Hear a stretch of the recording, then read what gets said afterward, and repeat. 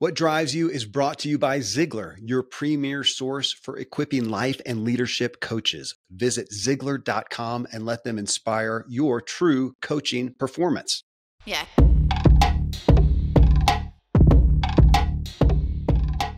Welcome to What Drives You. I'm Kevin Miller, your host and guide to help you master your inner drive so you can live a driven, inspired, and peaceful life that sees you driving further and enjoying the ride. In this episode, I bring you Matthew Del Negro and what drives him. So, Matthew is a celebrated actor credited for roles in some of TV's most renowned and award winning shows such as Sopranos, Scandal, Goliath, West Wing, and films like Hot Pursuit and Wind River. He appears in all three seasons of Showtime's City on a Hill opposite Kevin Bacon. he plays Detective Caysen. In this episode of our show here with me, he referenced talking with Kevin Bacon on the set just the day before. I was admittedly honored that he chose to spend time with me, a little bit lesser known Kevin.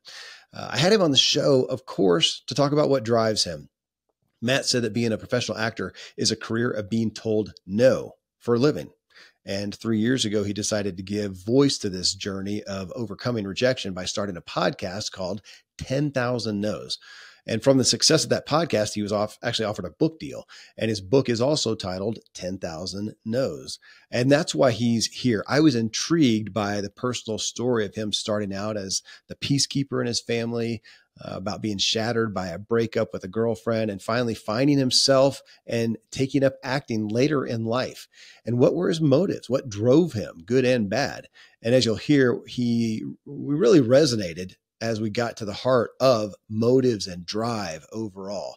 So you can find Matt's book. It's called 10,000 No's. You can find that on Amazon, uh, whatever podcast player you're on right now. You can just type in 10,000 No's. You'll find him there. And if you want to see him in action, go check him out at City on a Hill. It's on Showtime. And I see him a lot also on Instagram. He's under, it's Matty Dell, M A T T Y D E L. Hey, I, you know, right in the beginning of the book, you start off with some of, you know, the heartbreak, some of the things in your life that really, that really, uh, you know, changed the trajectory for you. But I was really enamored, Matthew, with you talking about being the youngest in your family. You had, you were one of three kids, right? Yeah one of three yep. kids, and that you right away found your role as peacekeeper. Uh, and talked about I, I, literally the quote that I pulled out from you was my why was forged in the pain of my parents' marriage. You know that that's strong motive, man. That early programming that takes us forward is so foundational. Why why do you feel like you became that, the peacekeeper? Well, it's interesting you pulled that out because um, it's funny. My, my parents are, you know, they split after college, but I'm actually going to see them today as we're talking. They're going to come and they're coming together to see me. I'm here on location really? in New York and like they're still friends. And the, the, the marriage, it's not like um, I grew up in some with a parents with a horrible marriage. They're such great people. It was more of this there was an unspoken kind of uh, tension or something. And I think um, without realizing it, I was probably very sensitive on some way. I picked up on it. And, um, and I, I think as the youngest, maybe that just became my role, which was my sister is five years older than me and we had a connection but she was a lot older at the time you know it, it was different when you're kids and then my brother and I shared a room, and he's three years yeah. older, and and so I had a connection with him. But then I was kind of like tight with everybody in my family, and I was I almost became the translator in some ways, uh, which as my career and life unfolded makes sense uh, that I'm an actor and then I have a podcast. It all makes sense now in retrospect.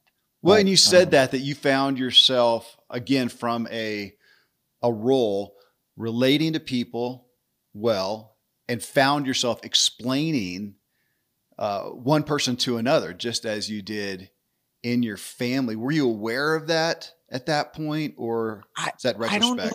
No, I'm not sure if I was aware, but I mean, I, I think throughout my life, I've always had friendships that were pretty deep. I mean, I feel like I've had conversations, you know, by the time I started the podcast, which was only three and a half years ago, I realized like I've been having conversations like this uh, my whole life. It's just, I'm, I'm interested in what makes people tick, much like you, you know, that that's, um, I, I was kind of always that guy that in high school, I think you would consider me like a jock because I played sports and all that, but I was friends with people that were not like I, I never really i hope if you went back and asked people that that grew up with me i, I never really judged someone based on uh, what they did i was more um, interested in kind of like what was underneath it and so i ended up even in that role being kind of a, a guy who was friend you know had i had my group of friends but i was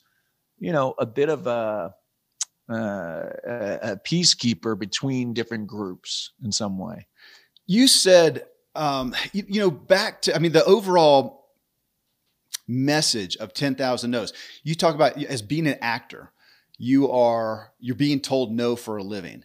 So, from a broad brushstroke, would you say that that is somewhat the industry? I mean, you're going to get very few yeses. They may be huge and awesome, but that is part of it. If you're going to come into acting, then just like sales, you better be used to rejection.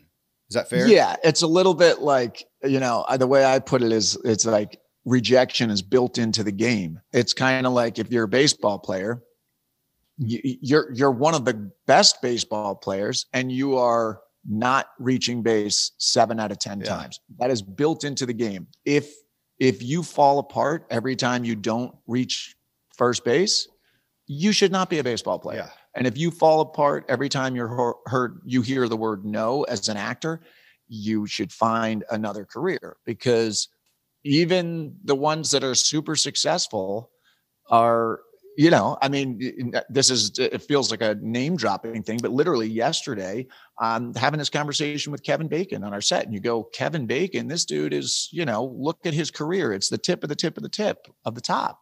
And he's and i was joking with him because he said he would sit down with me for 10,000 no's and i'm like yeah you look at you. And he goes oh yeah i was born and it just all just happened. Like he said it laughing basically going like no it never ends. Like the, as an actor and and I've come to learn I think any industry when you get to the top and you see these people that you you look at them and you go god that guy's flying around in a private jet. That guy's doing this or that whatever it is uh, the story is not that simple.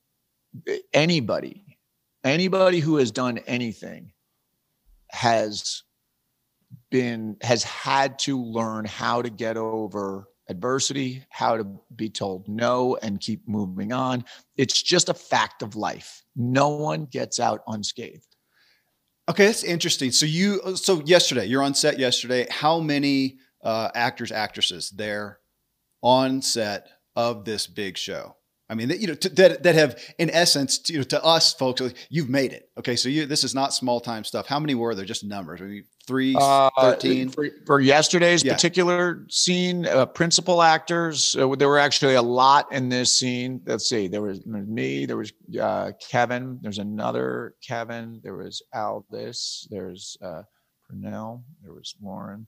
Uh, in this particular scene, there were uh, well, four of us that were series regulars, there were maybe six people in this scene. And that was kind of a bigger scene, six or seven people. So knowing what you've gone through, because I mean, I'm here to talk about your motive, what drove you, but do you sometimes look around and go, man, you know what they've dealt with? You, you know what they've gone through. Uh, it's kind of like I've been watching Jerry Seinfeld's comedians in cars uh, get, uh, getting coffee, and he likes to hang around other comedians because he gets them. You know, so so here you are, you get these people, you know what they've done. If I was on set, I had no idea what you guys have have gone through.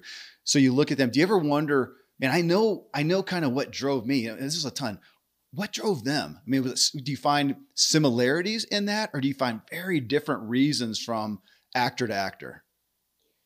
There, there are uh, different specifics, but overall, with actors, uh, there's a desire to tell stories. Um, there's a desire to use all of our experiences, all of our emotions uh, to to put that into our work. And and you know, another story with Kevin from yesterday was just kind of talking to him and he was saying that he and his wife Kyra who directed us in an episode last year Kyra Sedgwick is also an actor they made a film that he said is actually getting kind of traction at, at film festivals. They made it on their iPhones. They shot it themselves. Their kids were in it and they did it. I don't know where they did it but like there's just a you know and and it sounded like he had a ball doing it. And there there's just this desire to create and I think that um, that is probably a common thread,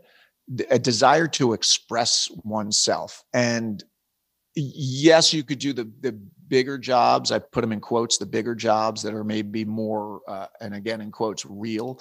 But a lot of times when you talk with each other, you realize the things you really care about are these little, you know, guerrilla filmmaking experiences that you have where you're it's on the fly and it's a it's a, it's like a experimental and um in in a way that's the podcast has been that for me. It's just this there's no there's no restrictions on doing it. There's no permission to be sought out. It's just like hey do you want to talk? Boom because it's like do you want to zoom? I don't care. You could be in australia. Boom there we go. And there's something liberating about that mm-hmm. um and then there's also another side of it which was which is doing these things that are more uh you know plotted out and planned out. Uh, but there's there's just just a desire i think for expression spontaneity um telling stories understanding different people from different walks of life all of it. You said and i don't know if i put down a note but to some degree you realize that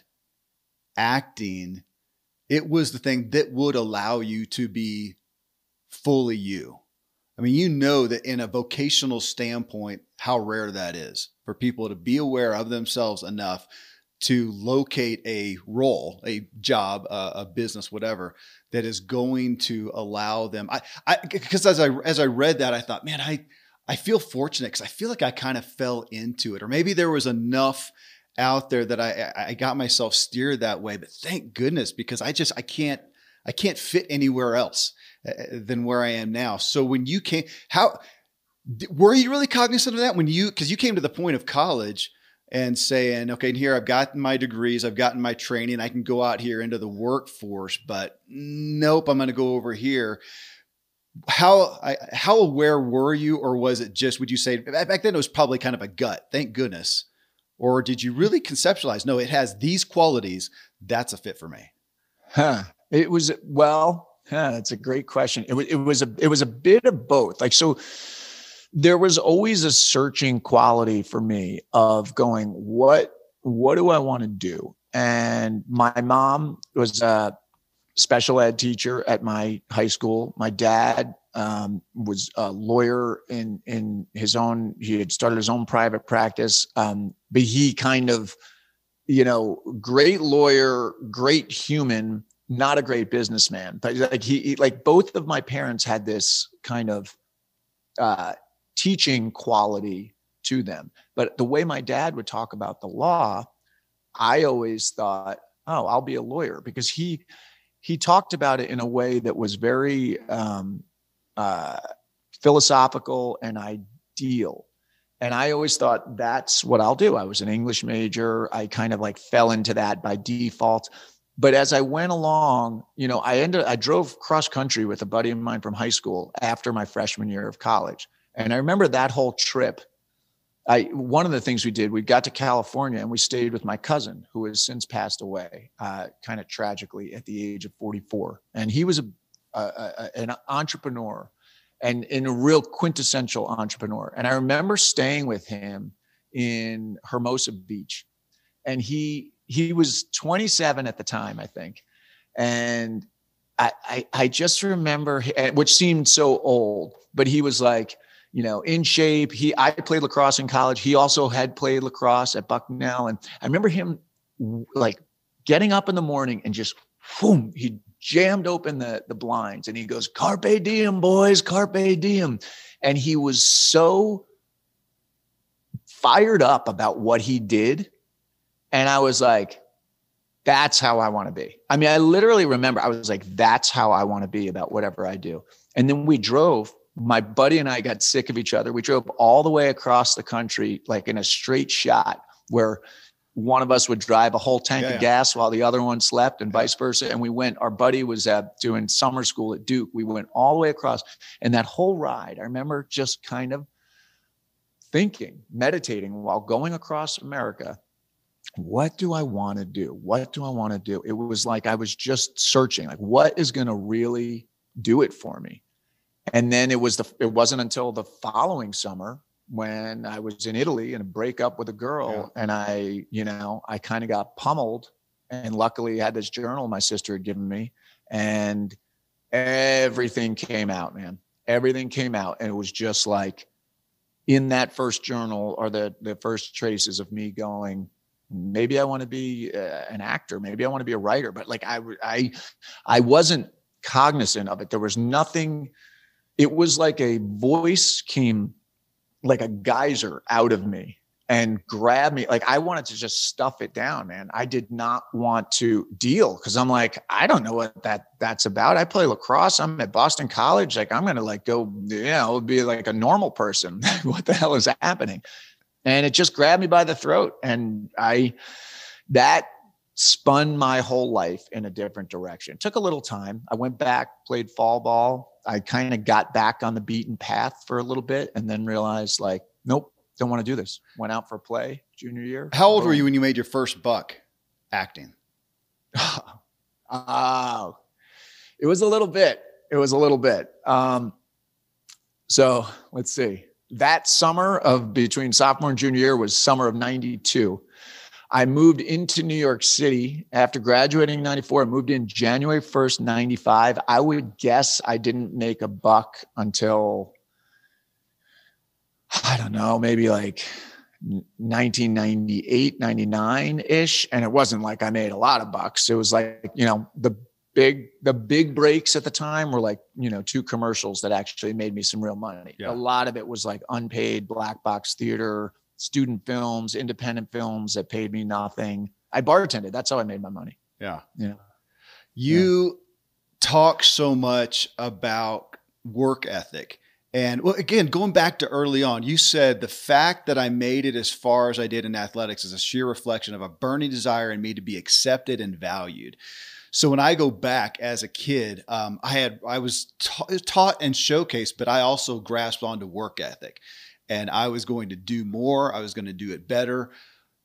I didn't realize that I was doing it though to feed my self image. That is who I became. It, I was expect. I wanted the accolades. I needed that. So for you to say that because you go back to you saying I didn't feel like you were the most you know naturally gifted athlete, but you did what you had to do, stuck with it, and you had success. And that really feels like that's what you you relate to acting as well.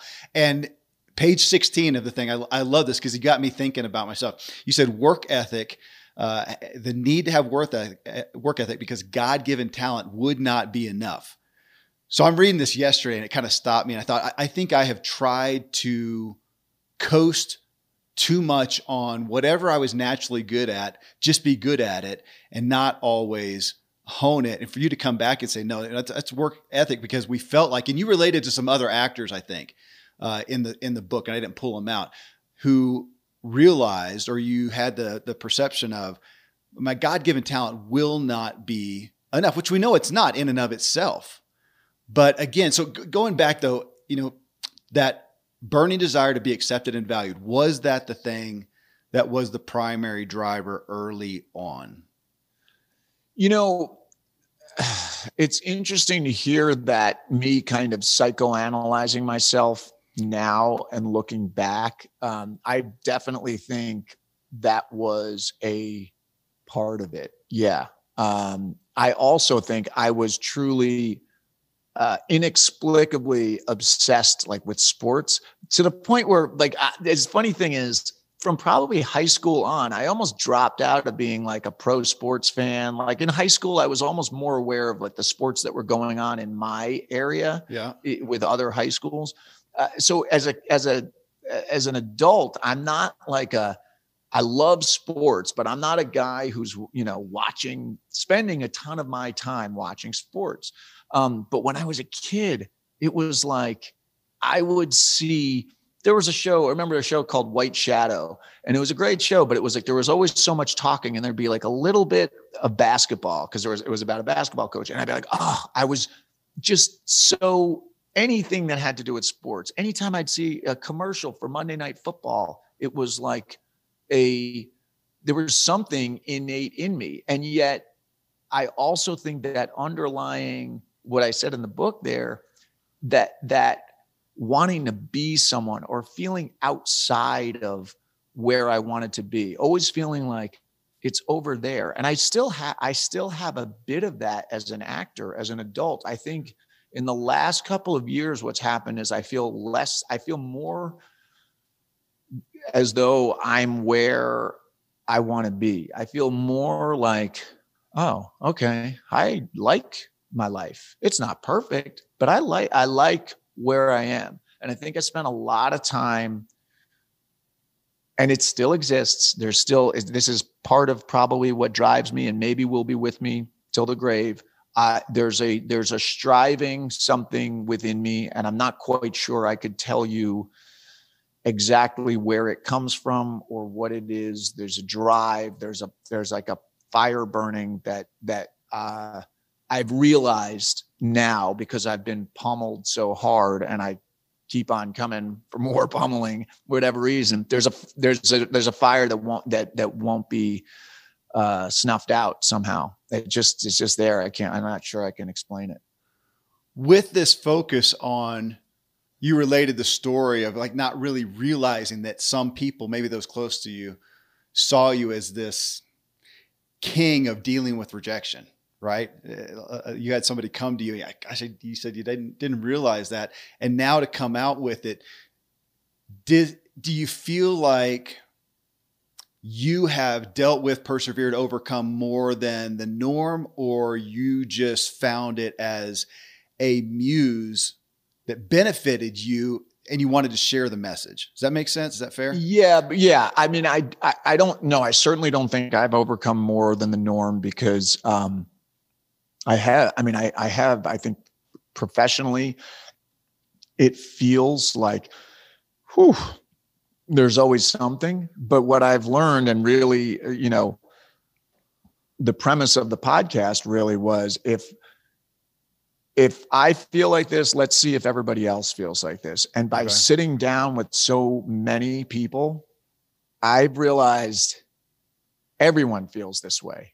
I mean, everyone feels like they've had to overcome a lot because you sit down with anyone, they've had to go through some things. I just happened to articulate it, I think.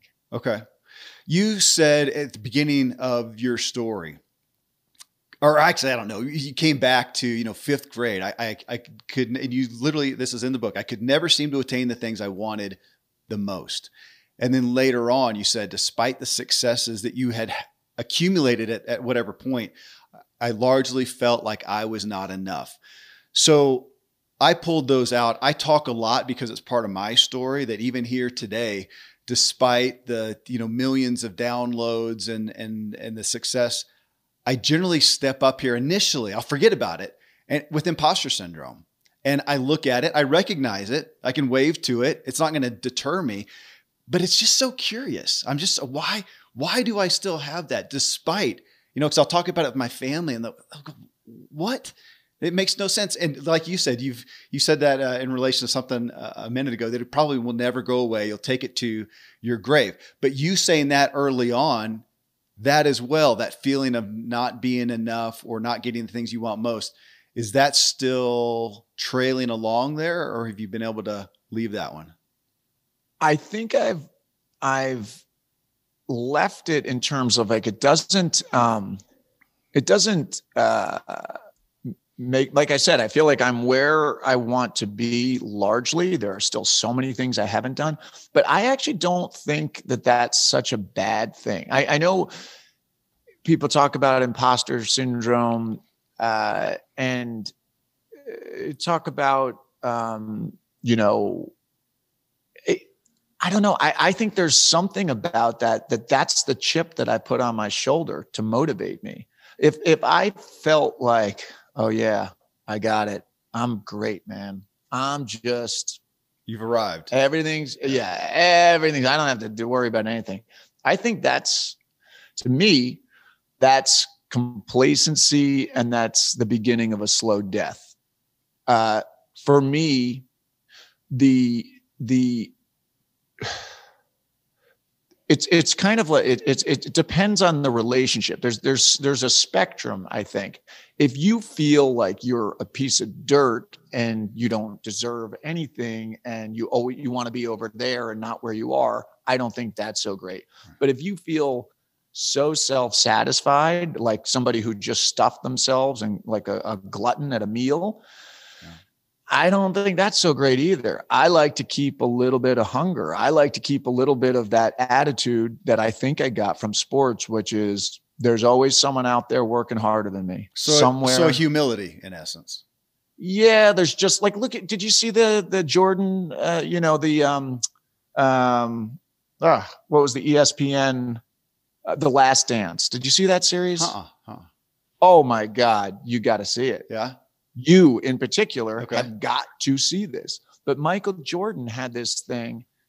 It, it's amazing to watch just a study of a guy who is a, we all unilaterally agree is this champion. Yeah. Well, when you see the mindset, the psychology, the, the psychology that is that goes behind it, he would do things to get mad or to prove himself. And he would really almost manufacture this hunger to prove someone wrong. And that's what drove him. Yeah. I mean, that, I mean, sometimes in an almost psychotic, sociopathic way, but it was fascinating, man. And so I think there's not like, I, I, I sometimes think it's not such a bad thing to yeah. have a little bit of, of like, oh, crap, I better, I better show up and I better bring it because if I don't, there's some young, hungry kid out there who's going to take it.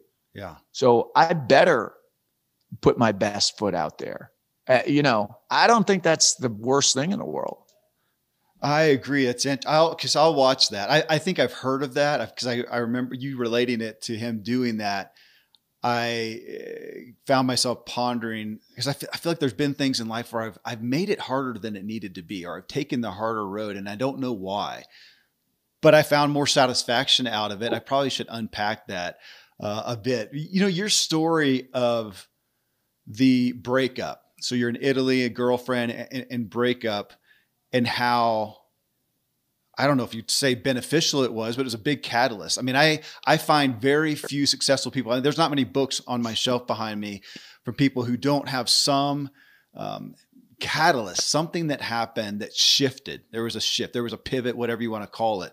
There, and for you, that was there a emotionally leading up to that though.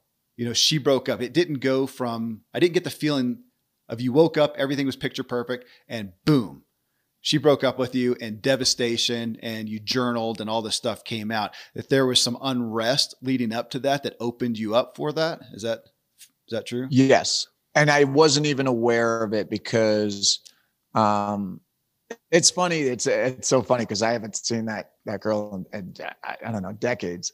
But it wasn't in a way her importance in my journey was not even particular to her. It was more, yeah, it was kind of like where I was. Like this was yeah. the I. It was kind of like the first person that I really thought that uh, I was like, oh, I think I'm in love with this person. But as it went on, I was having all these doubts and unrest before that trip to Italy that I was kind of squashing down, squashing down.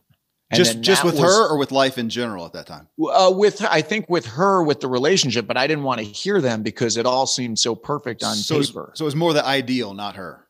Yeah, it was like the ideal, and it was like me, you know, kind of squashing down stuff that maybe wasn't so perfect, and then that's what what kind of brought up the whole thing coming about was me going, yeah, we see things a little differently on this, this, this. And I said something that she, that she was like, well, that's just me. And I was like, uh, no, I didn't mean it. And it was like, boom, it was like done. Like I got, I got honest. And then that honesty was not necessarily uh, received in the way that I thought that it would come across. And then that kind of spy that caused me to then go like backpedaling and looking and looking into myself. And and then then this whole just treasure trove of of like stuff that was i guess unresolved from growing up all came up which was you know i don't even know. The gist of it was not really fully expressing myself which is kind of interesting because now i'm in a profession where i am paid to express myself so i put myself in a position where i i i can't really let that happen again keeping keeping a lid on emotions well, you said the word with her of finally saying something that was honest. Do you look back from that time of going forward, at least with the relationships, you were more honest? Yeah. I mean, I wouldn't, it's not like I wasn't being honest with her before then. I think I was honest about the good stuff, but had a harder time being honest about the complicated or more, you know, not so great stuff. Um, you know, I think in general, if you want to, you know, psychoanalyze me and go back to the the stuff I said earlier of that role in the family. Yeah. Um that I was the peacekeeper. So so there's a there's it's easier for me to mend things, to bring people together, to um make everybody feel comfortable than it is to be confrontational. And part of my journey professionally certainly has been um, being comfortable being uncomfortable you know confronting people I, I i've learned you know i started this thing called 10000 no's thinking it was about the external no's that came to me and what i've learned is that i've given myself the biggest no's yeah you know they, they come from me uh, and and and and really the no's that need to be given are we should be giving no's to people rather than giving no's to ourselves. And I don't mean to people. I mean I mean to we should be say, learning to say no to things to keep our our uh, our boundaries. Yeah. You know, no, I can't do that. I have to take care of myself. No, I can serve you better if I say no to you now. Uh, this little request that you want because I'm building something that's bigger that's going to help you more later. Uh, you know, just boundaries. Yeah. You, you know, when you look at your own drive and here you are back here when you started acting today, you're, you know, in New York right now. You'll see your wife, your kids. How old are your kids? 13 and 10. My Thir- son's 13, my daughter's 10. 13 10. How has your, when you look at what those drives were so We talked about you know some of the some of the early drives. How have they? What's the fruition of those be? Because you're an actor, so I mean, this you know you are a, a celebrity, and you could look at that and go, man, I want to be. I just I want to be the best actor I can be, or the you know the best at some level, or I just want to be you know worthy of being amongst this type of uh, an industry, or man, I just want to provide for myself, make some money, you know, support my family, or I want, you know, the fame. I mean, you could go along that. And when I go back to that question of the people on the set yesterday, I'm sure I could find that driver of those uh, uh, differing amongst those. And you and you see that. But how has yours? How has yours shifted? Because I mean, I've been doing what I want to do most of my life, but man, I sure have seen the motives change. Yeah. Um, I, I do think that there's been a a shift more toward, you know, I, I'm trying to maintain this thing where I'm I'm following my inspiration and I'm uh you know hopefully setting an example for my kids of um you know what my grandfather told all of us he he always said you know do what you love and the money will follow and he said that to all me, my my siblings, my cousins. He was an and immigrant, right? Immigrant, yeah, yeah. yeah. He he was he was actually, um, he was uh, born here, went back to Italy when he was two, and then came back here when he was 17. Okay. Um, and um, he, yeah, I, I, I hope that uh, my kids. the, the the good and the bad of being an actor is the the uncertainty, which is really what all the 10,000 no stuff is about. It's about dealing with uncertainty because you, you know through much of my adult life, you just when you finish a job, you don't know what's next. You don't know if there is a next. Um, you hope, but you're only as good as your last job in my industry.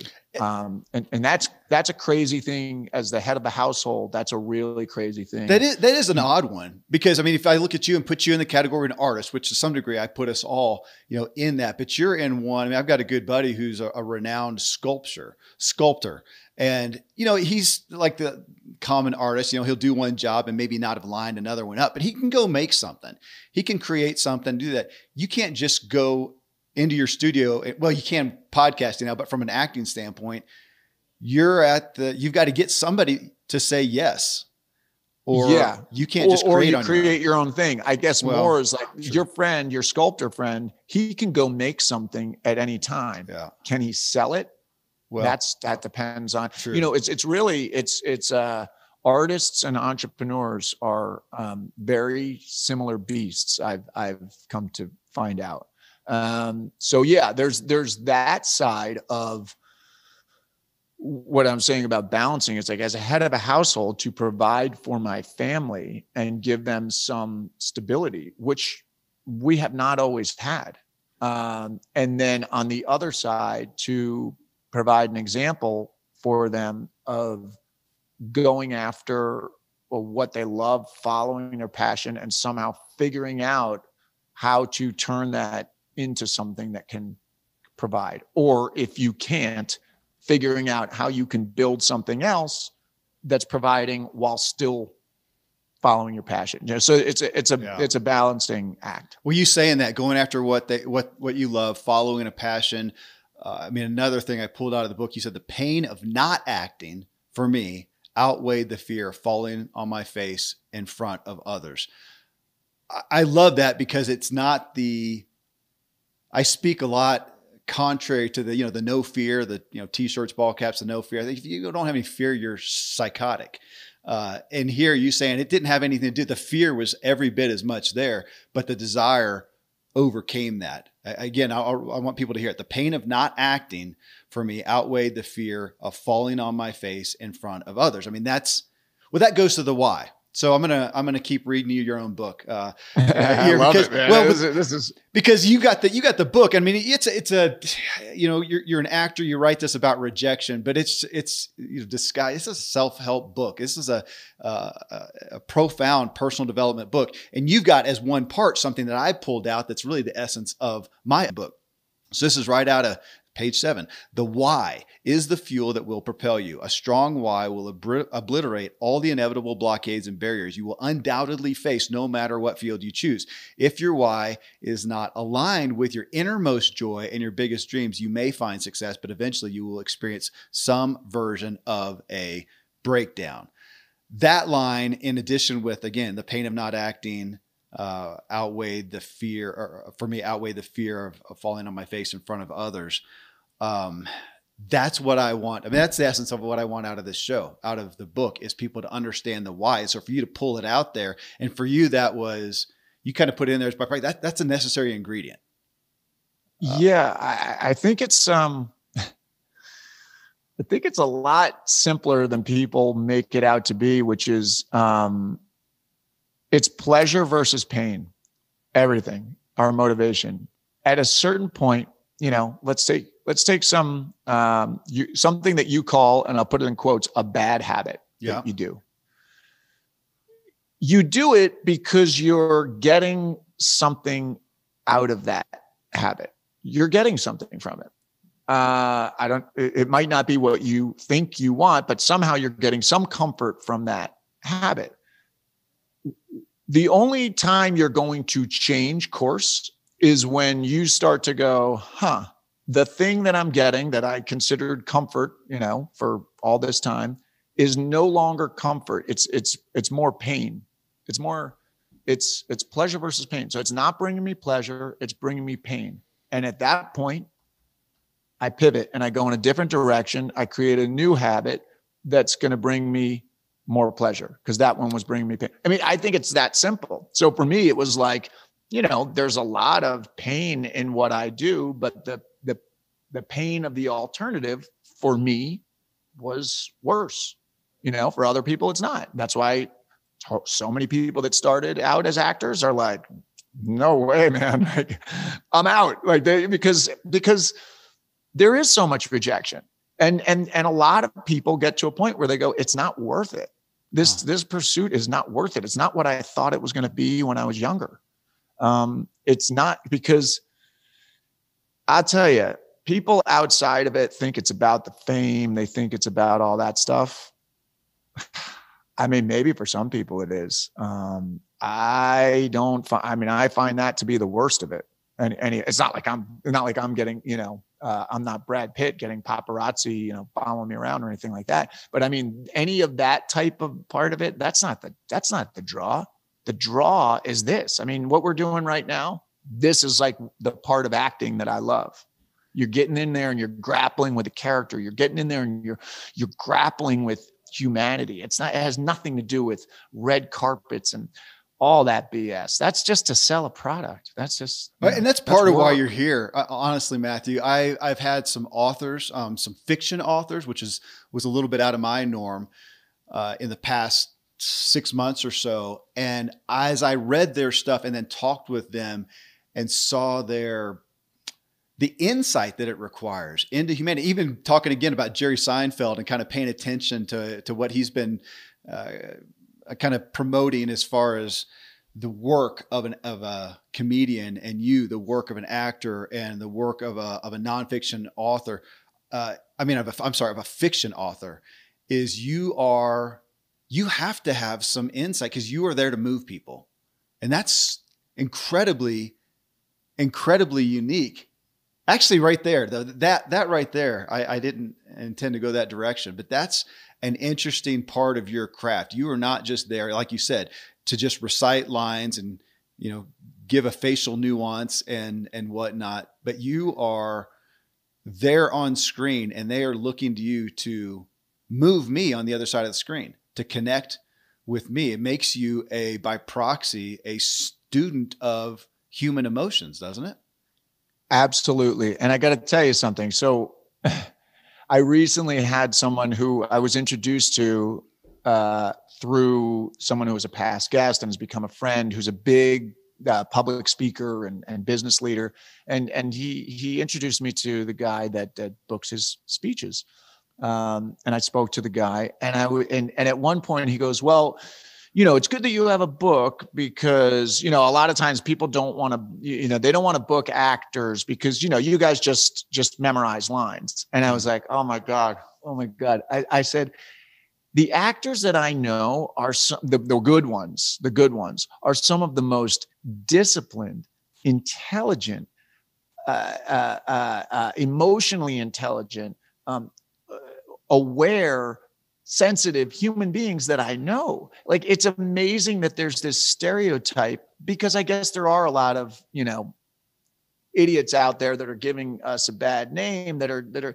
that are maybe surfacey or whatever. But like the stereotype, I was kind of blown away because I've forgotten that outside view of it. Yeah. But no, if you're really doing this, I mean, it, yeah, you can't you you can't be good as an actor if you're not um, somewhat on some level aware of of humanity and and and and psychology and all of it. I mean, I don't know how you could do this job. I don't I don't know how you could.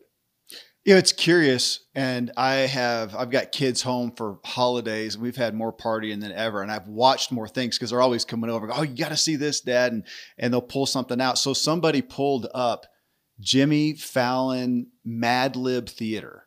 So he has the I had never seen it. So he has an actor and he makes them pick out. I don't know if you've seen that. It makes them pick out words. You know, give me a noun. Uh, give me a give me a you know uh, give me a verb. Give me a, a, a, reaction, you know, whatever. And then he they go over here and do a skit using the words they put in. It's hilarious. But what was interesting to me, and this is this isn't a this isn't a show on acting, but I'm curious on it too, because what I saw is going back to that uh, actors just memorize verses. There were some, some big name actors that on those questions specifically. Now, when I get to the skit, they were all pretty good. But over here on just think of a word, think of a word that some of them you think, man, they're not used to the improv of that. Some of them.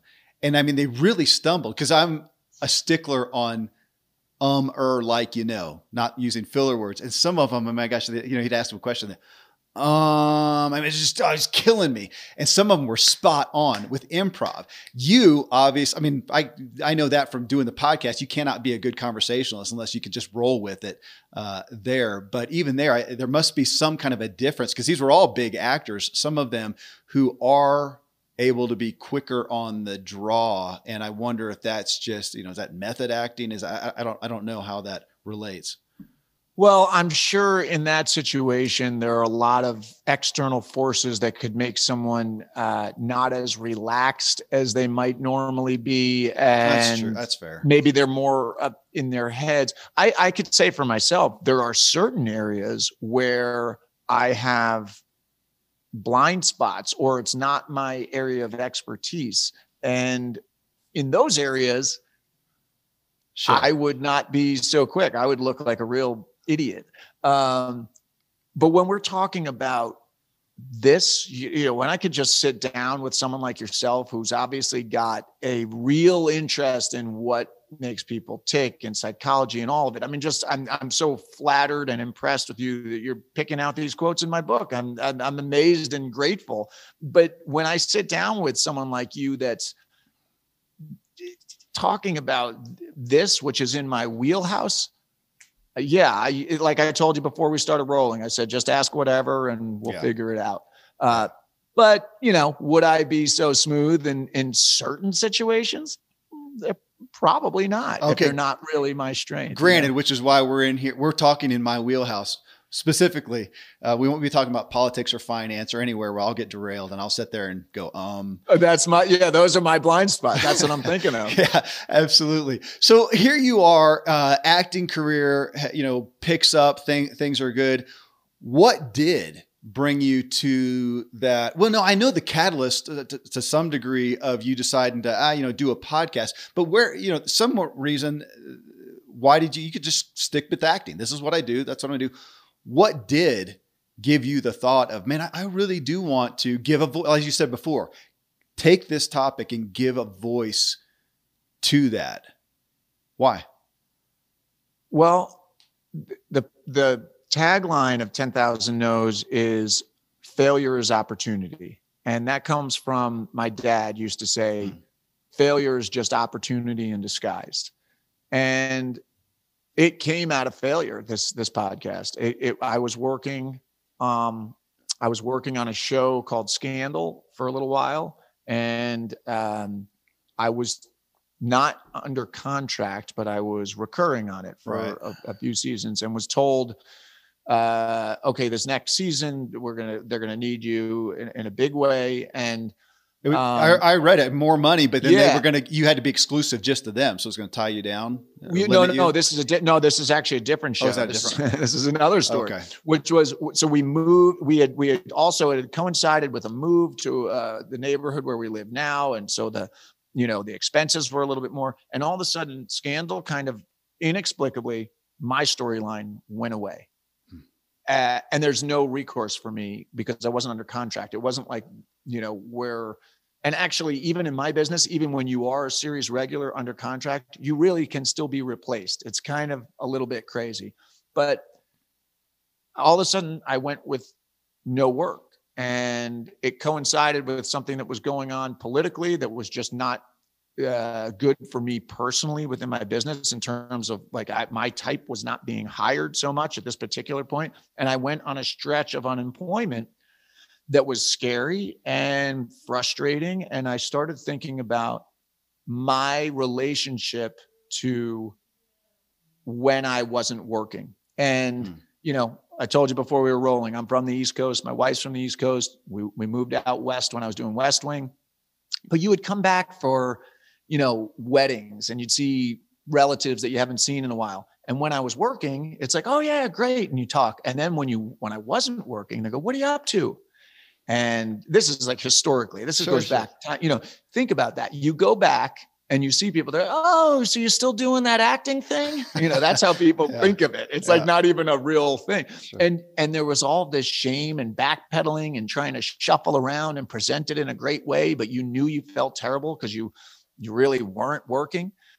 And I just decided to take it, it was this combo of frustration, uh, desire to uh, be creative without having to get permission. Um, and also to take the shame of no's, which which equi- the equivalent was unemployment, was uh, you know that's a hard thing to deal with. I mean, and as people don't realize that as an actor, like you go through stretches sometimes, you don't know what's coming next. And that's what I did with 10,000 No's. I said, instead of hiding this and, and acting like it doesn't exist, I'm going to go, no, no, no. You know what? Here it is, guys. Boom. I'll take all of my rejection, all of that shame, all of those no's. I'm going to put it, I'm going to make it my calling card. And that flip, I'll tell you, maybe it's a coincidence. I don't think so.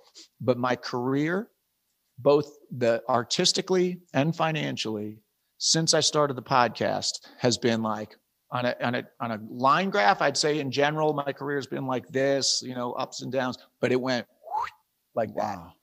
And I and I think it's because I opened myself to just, hey, this is where I am.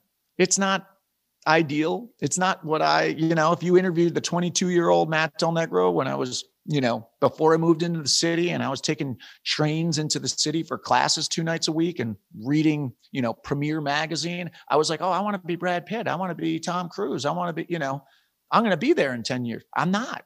I'm still not, and I'm older than that. So I I didn't, but I what I think I did that helped was I just went, this is where I am. For better or for worse, it's better than a lot of people. It's not exactly where I wanted to be, but this is it. And when I leaned into that and just was like, I'm okay with it. And actually, there's something cool about this. All of a sudden, doors opened up. Wow.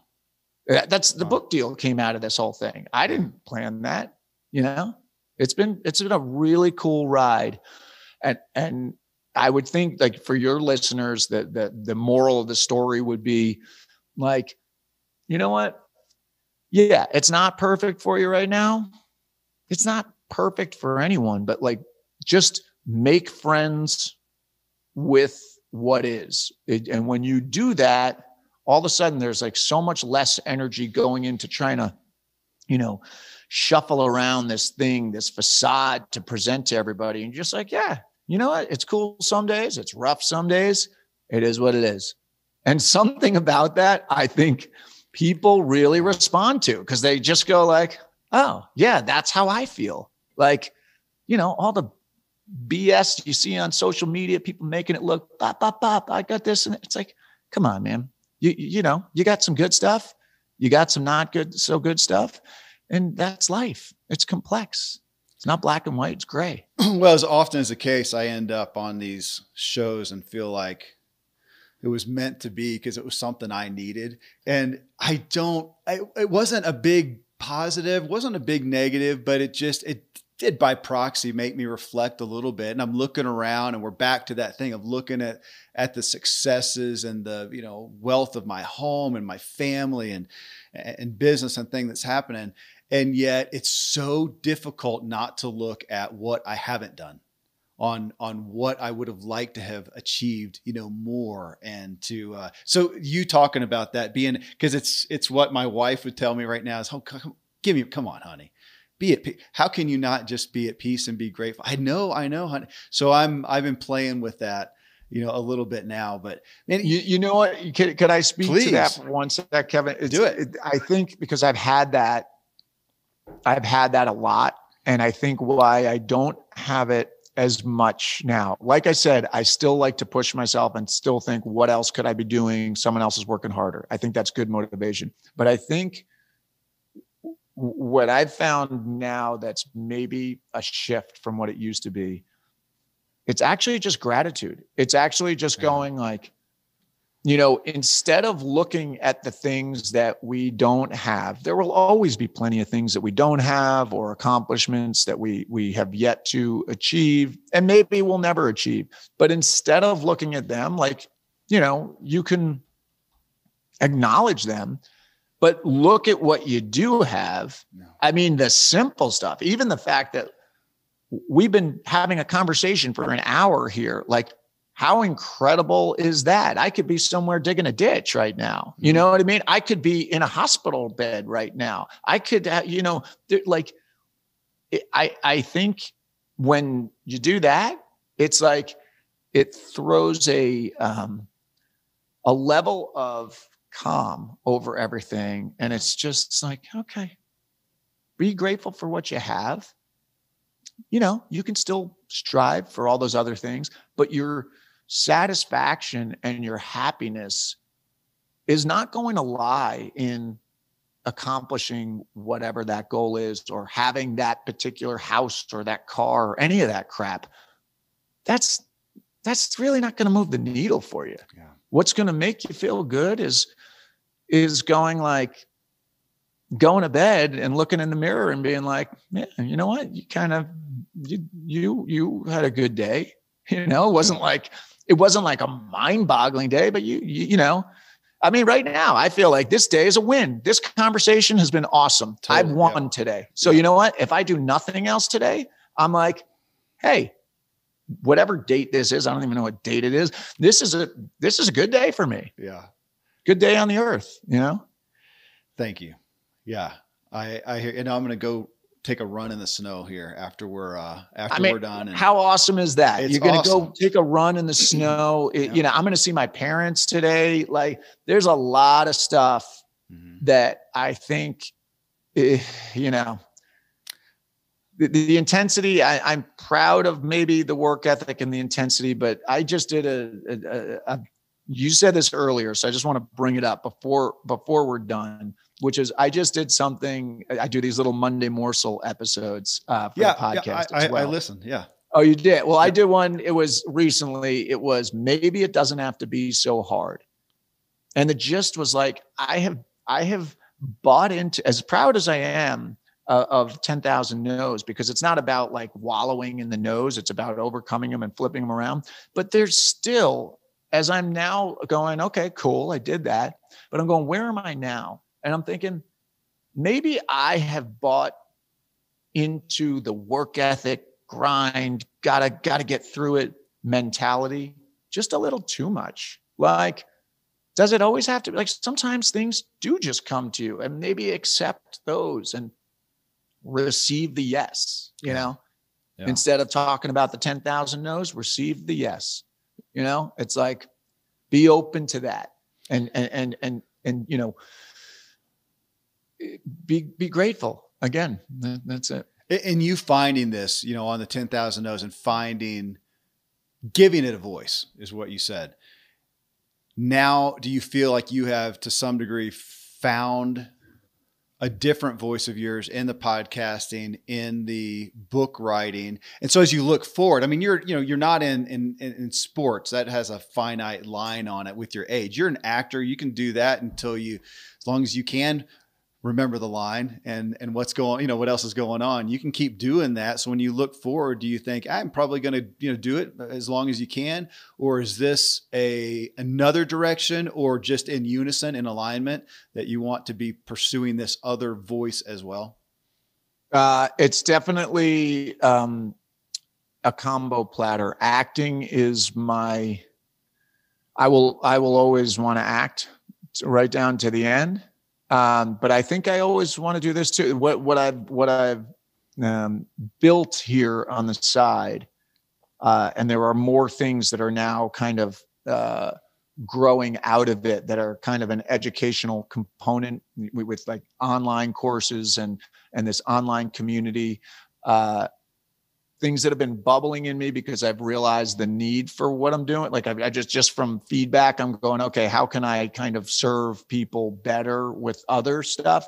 Um, but but all of it is also being built with within the parameters of it can't take up too much of my time because the main thing it's got to it's got to help my acting not hinder it and i think that it has it has um in a beautiful way it's kind of been seamlessly integrated with my career where i feel like the podcast and all of this stuff is is helping my career and my career is helping the podcast and it's weaving together. And i think just to bring it on home for your particular motive theme it's because i figured out that my big why my one thing is not acting. I think my one thing is helping people encouraging people to not feel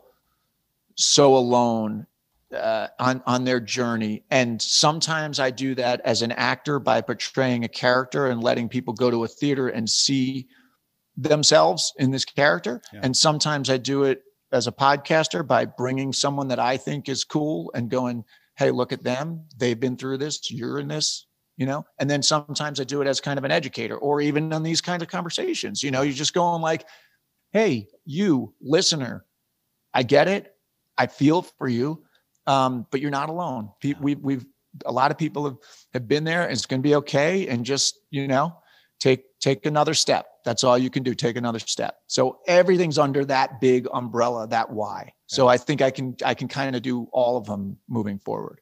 I hope so. I hope there's more in this vein as well. I appreciate what you do, man. Thanks for thanks for having this voice, giving this voice, and uh, and sharing it with me and the listeners today uh, it's a gift. It's a win day, no doubt, and I think they'll feel well, the same way, Matt. I thank you and your attention to detail and just the things that you picked up. Uh, eh, I'm I'm pretty blown away and and extremely flattered that you you put this much brain power into my book and and even agreeing, you know, having me on here uh, in in front of your audience. It's uh, it's truly I'm I'm grateful for it. And even if the thing you know, the hard drive went down and the whole thing was lost and no one ever heard this, I feel like uh, I got something from talking to you. So thanks, man. Hey, likewise. Uh, thank you very much, Matt. All right, friends. Well, there you go. Matthew Del Negro. Again, you can find his book, 10,000 No's, on Amazon or wherever you get books. Uh, in your podcast player right now, just type in 10,000 No's. You can uh, find him there. And of course, you can watch him in action on City on a Hill on Showtime uh, and Instagram also. You find him at Matty, M A T T Y D E L. Thanks for tuning into the show. If you appreciated this, give us a rating if you would on Spotify and on Amazon. You can leave a review there as well. Uh, you can see most of the shows on YouTube and on social media. Just look for me at kevinmiller.co. And if you want to learn how to master your inner drive like Matthew Del Negro, get my book, What Drives You, on Amazon. Until next time, stay driven. Yeah.